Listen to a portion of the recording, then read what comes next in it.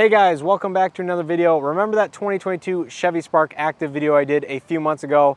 Well, I kind of lied in saying that was maybe the last Spark we would get brand new from the factory because there's another 2022 sitting behind me right here. So let's not waste any more time and take a look at the Spark behind me.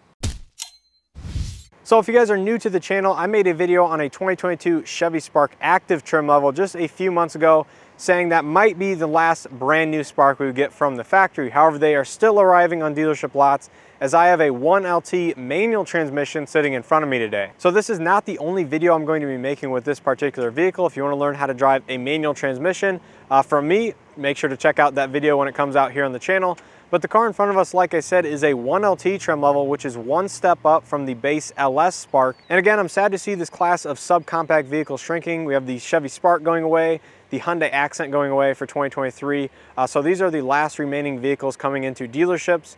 And again, I think these are great values, great entry-level vehicles, maybe for the first time uh, buyer or the first time driver. And I don't think we will see these much in the future in terms of the cost equivalents. So the Spark in front of us is finished in the Mosaic black exterior and you can see it's kind of a two-tone look and that is because this particular Spark is optioned with the special edition paint appearance package. This gives you the white roof, the white mirror caps, the special wheels I do believe and some of the white trim on the front and rear bumpers.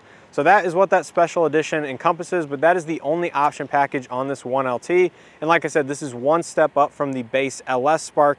And this gives you the power windows, mirrors, uh, projector headlights, a few other things, the power tailgate release, a bunch of nice equipment that to me is a must have on a vehicle like this. But obviously, if you want a bare bones Spark, you can opt for that LS trim level.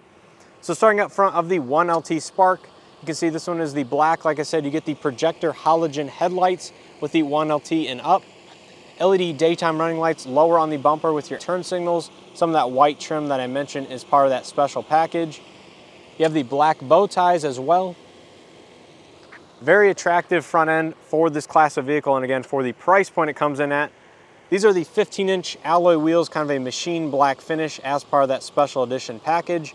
They're riding on Kumho Solus TA31 tires and 185 55 15 inch.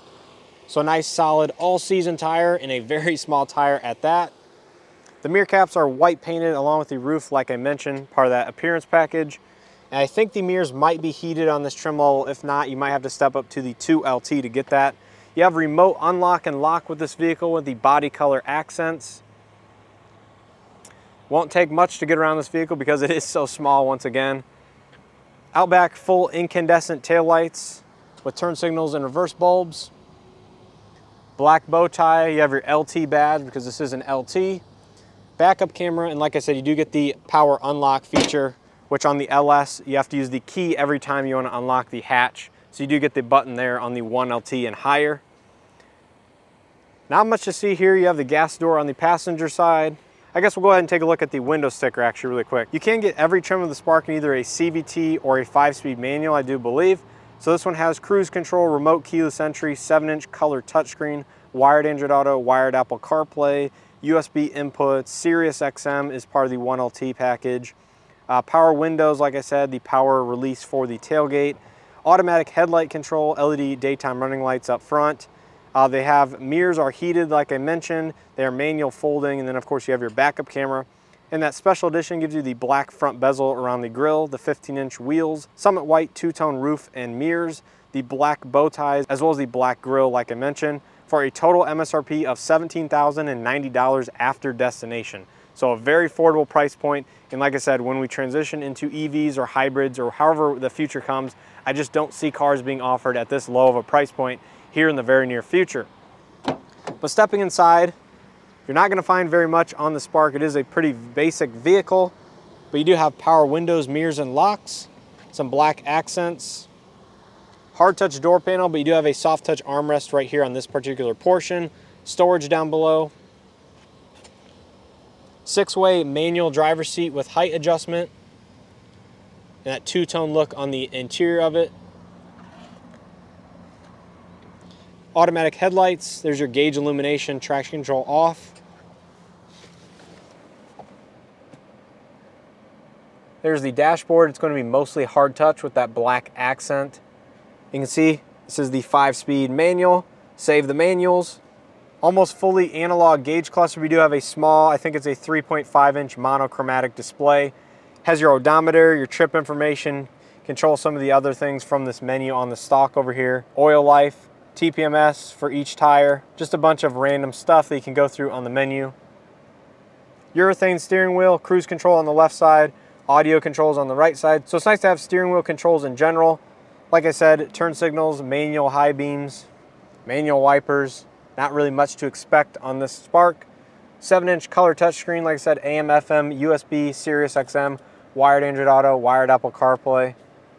Do have Wi-Fi hotspot built in via 4G LTE. That's cool. OnStar connectivity. Pretty bare bones stuff. Single zone manual climate control.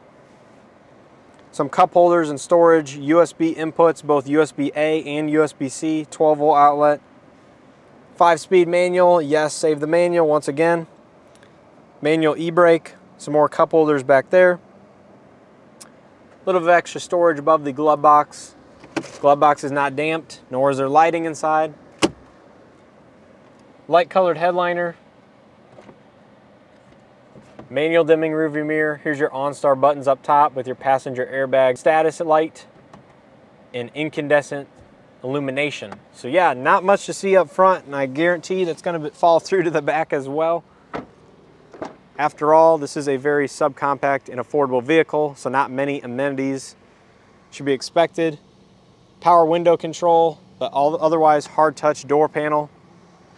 And surprisingly, for the size of this vehicle, there's a decent amount of rear seat legroom and headroom. Obviously, because it's a hatchback, there should be a good amount of headroom, but the legroom is actually decent for what it is. One mat pocket on the back of the passenger seat. Here's your armrest for the driver only. Cup holder, this is a four seat only vehicle. The seats do fold down 60-40 split, but otherwise not much to see back here. No center armrest, nothing like that. Decent amount of headroom, like I said, for the size of vehicle. Coming to the back, one thing I would definitely get is the 1LT for that power release function for the hatch. I would get annoyed getting the key out every time I wanted to open the hatch. Uh, but that is one thing I like about this trim level. Storage space, very small, but very usable nonetheless. Little privacy cover here. Looks like you have floor mats as part of this particular vehicle. A Little light on the left side. But yeah, very tiny. You can reach halfway into the back seat from here. But again, a good opening. And if you fold the seats down, a pretty practical car if you don't need a ton of space or anything. Hatchbacks are always gonna be a little bit more practical than something like a sedan of this size. There's my camera. I was doing some filming for that manual transmission video. Four-way manual passenger seat. Not much to see here. Once again, I already showed the glove box and everything.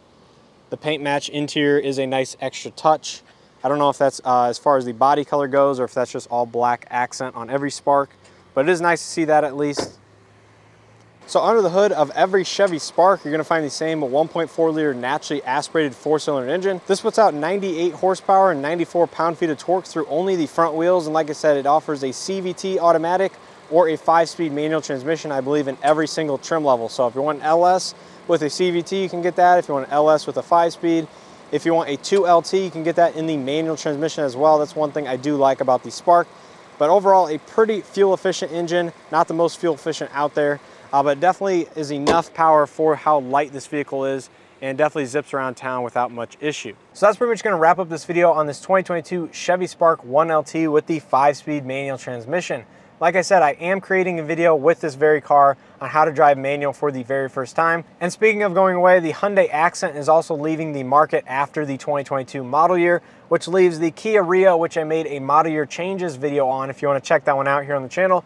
Uh, that is the last subcompact that I think is an excellent value in terms of the features and options that it offers and the price point it's at. And speaking of price point, like I said, this one that we're sitting in is just over $17,000, including destination, which again, you get a five-speed manual for that price point, but if you wanted the CVT, I think it would still be under or right at $18,000, including destination, which for what you get for the money, it's like, what do you expect with inflation, supply chain issues, overall price increases year over year, it's just unfortunate that these sub $20,000 cars are going away. And it's hard to imagine that they'll ever be replaced, especially with the cost of goods and raw materials anymore.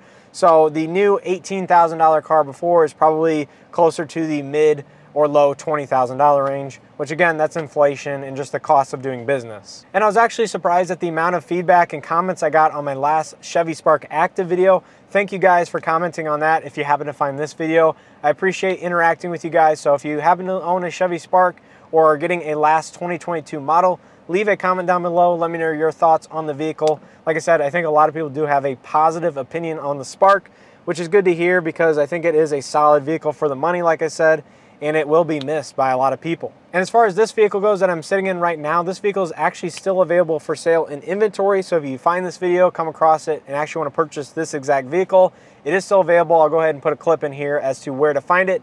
Make sure you tell them I sent you as far as this video goes, and uh, hopefully you guys end up with it if you're interested in purchasing one. And once again, hopefully you guys enjoyed this video. This very well might be my last video on a brand new Chevy Spark. So once again, RIP. But as always, I hope to see you guys in the next one.